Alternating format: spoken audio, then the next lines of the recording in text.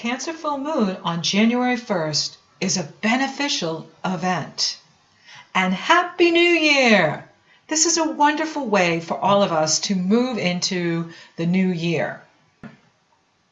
The moon itself is in a amazing grand water trine with Mars in Scorpio with Jupiter coupled with Jupiter in Scorpio trining the moon in Cancer to Neptune in Pisces.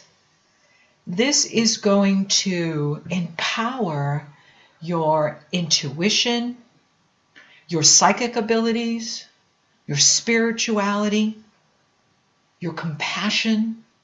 It is inspiring and it is about anchoring love in your heart for yourself, for humanity, for the world going into this new year. It is amazing how the water energy is so powerful here in January to balance the earth energy, which is also extremely powerful here in January, at the Cancer full moon, you have Saturn in Capricorn. He's home now. He's empowered. He's taken action. Venus, the goddess of love and beauty and abundance, is in Capricorn, coupled with the sun in Capricorn. And that coupling will go exact with Pluto on the ninth. So Venus, the Sun, and Pluto in Capricorn are together here at the Cancer full moon, and it will become one on the ninth of January. And so this is about the power of your passion, using the power of passion to achieve your goals in the new year, and the universe is supporting you. With Cancer, it is about God harmony, being the master of your emotional body, your feelings, your emotions, what drives you emotionally.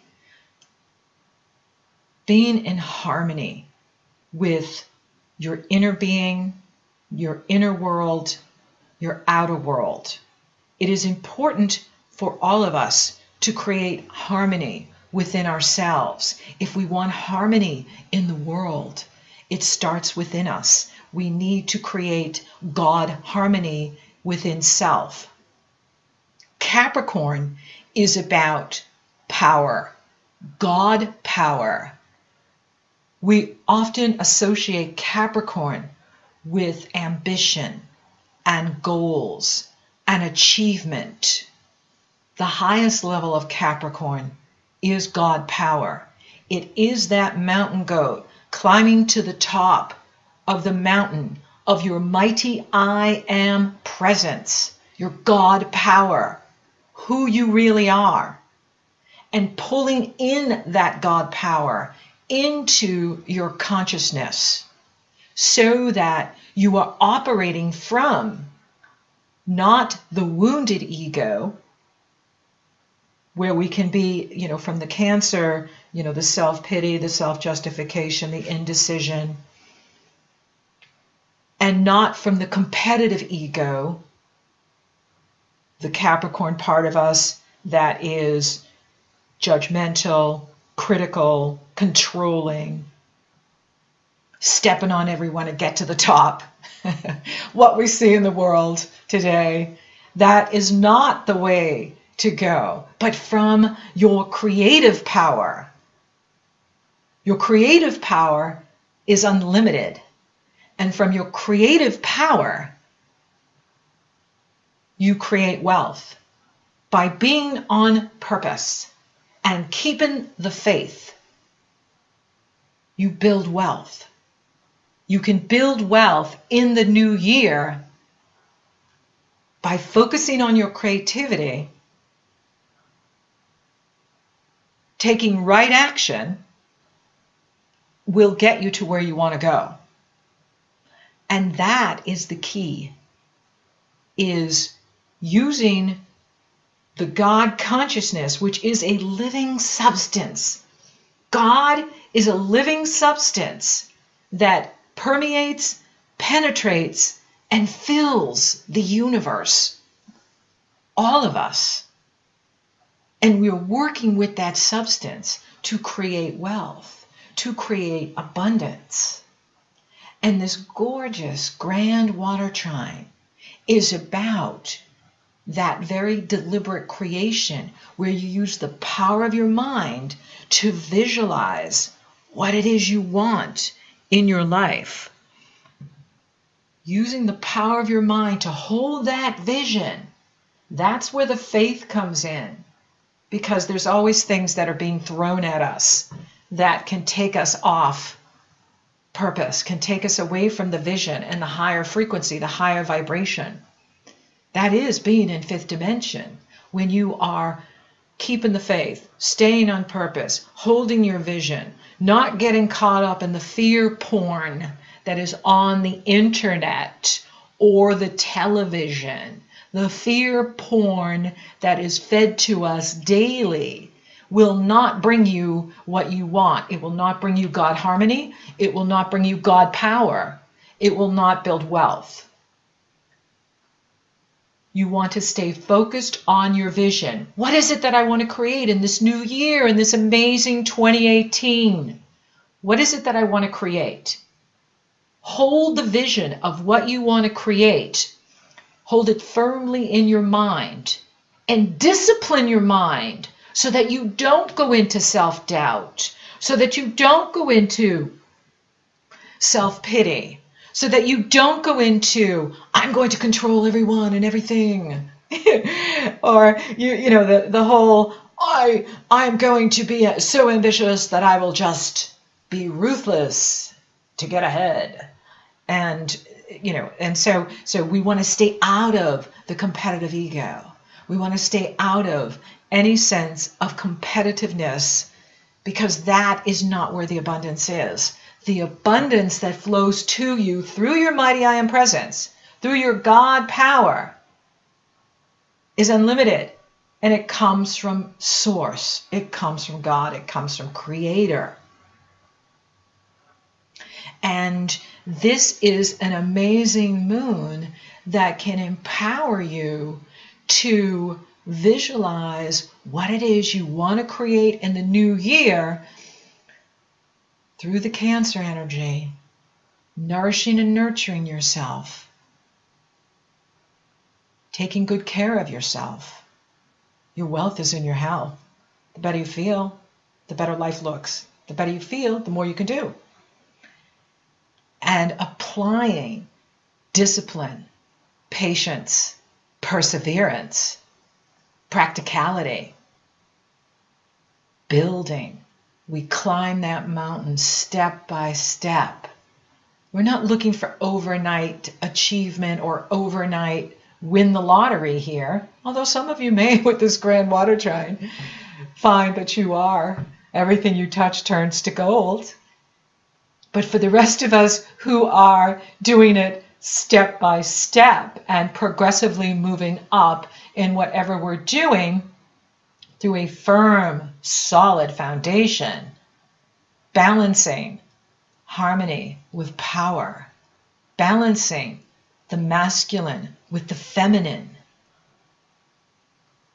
balancing our energy so that we're practical and grounding the light as it moves through your crown chakra, third eye chakra, throat chakra, heart chakra, solar plexus chakra, seat of the soul chakra, base of the spine chakra, root chakra through into the earth from the great central sun, grounding you into the earth energy so that you're powerful and balanced, focused and disciplined in whatever action you take, putting your power into everything you do, both small and great tasks.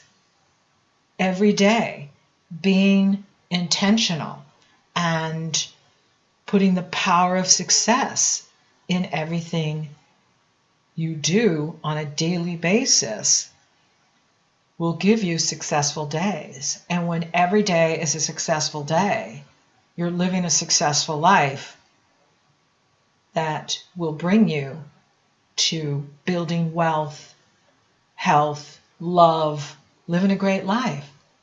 And you're here to live a great life. You're not here to live a mediocre life. You're not here to live, you know, um, a crappy life. You're here to live a great life, no matter what the astrology is doing.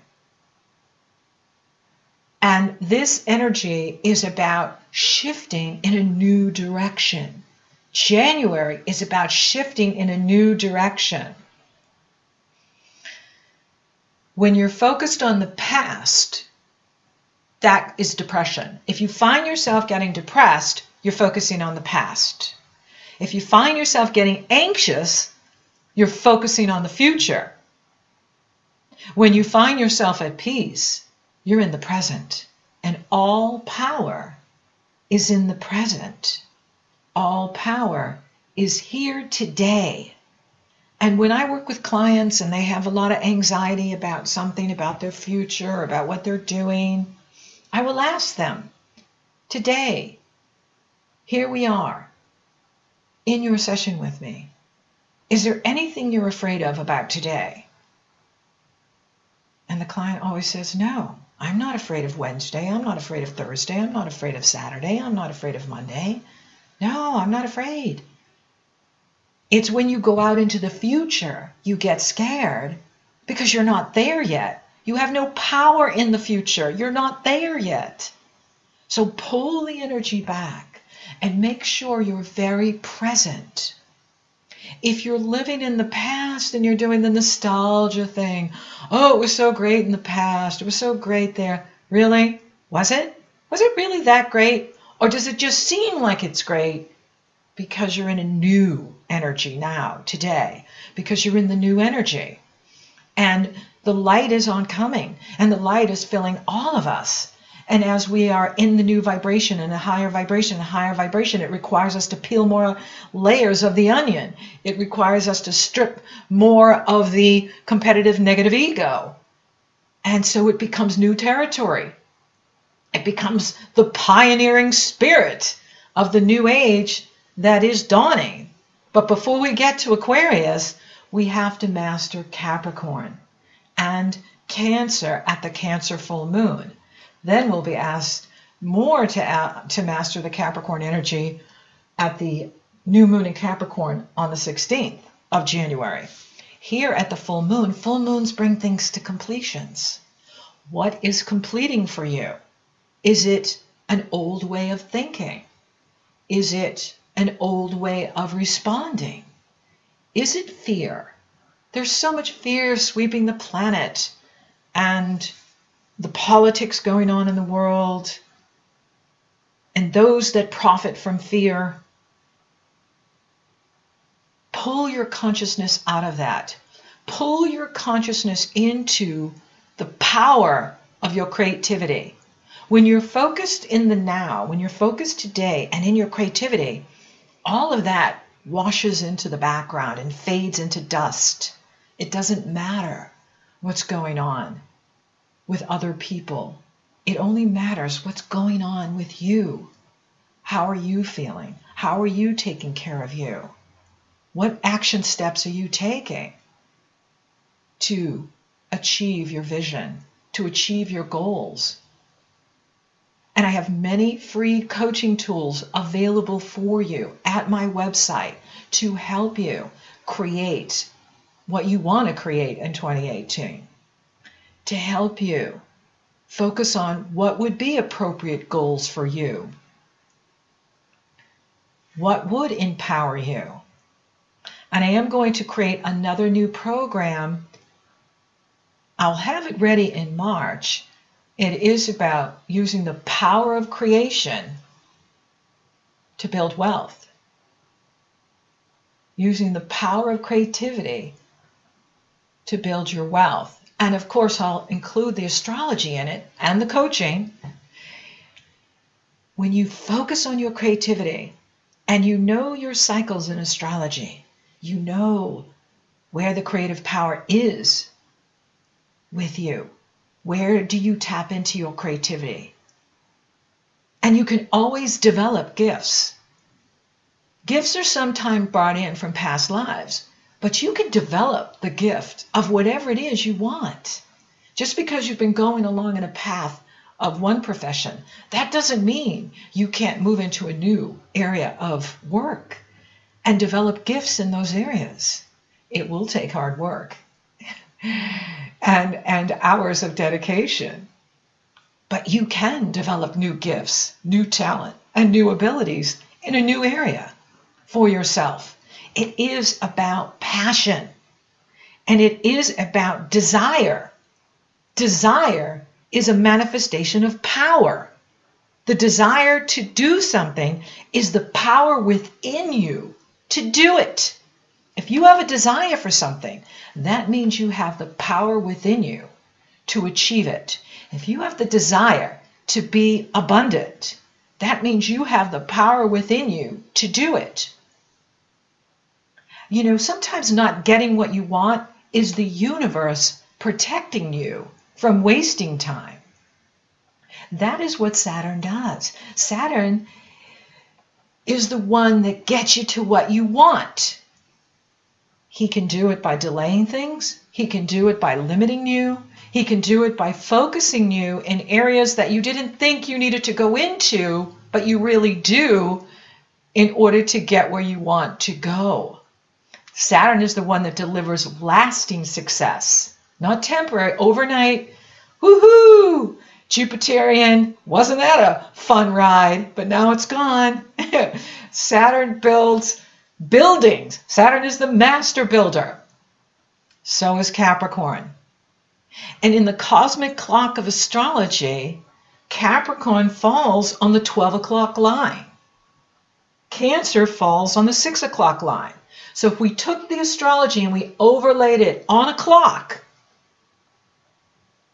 and you can Google this, the cosmic clock of astrology, putting Capricorn on the 12 o'clock line, everything comes out of Capricorn. Even though in Western astrology, our new year begins in Aries, which is